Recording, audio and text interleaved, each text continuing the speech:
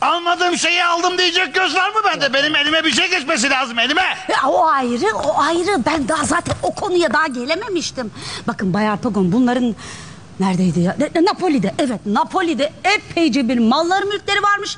Evlenince tabii ki haliyle hepsi sizin olacakmış. Orasını iyice bir anlamalı araştırmalı. Tamamen burası. zaten haftaya Napoli'deyim. Yalnız başka bir şey var beni düşündüren. Nedir? Bu kız genç bir kız.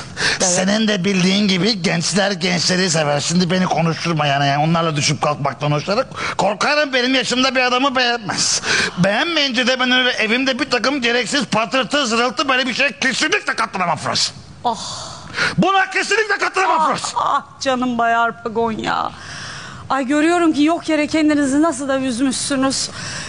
Ama tabii haklısınız çünkü ben daha size işin e, bu kısmını anlatamamıştım.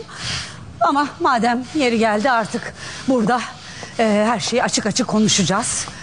E, şimdi şöyle ki Bay Arpagon bu kız yani Marian delikanlılardan nefret ediyor. Aklı fikri yaşlı erkeklerde.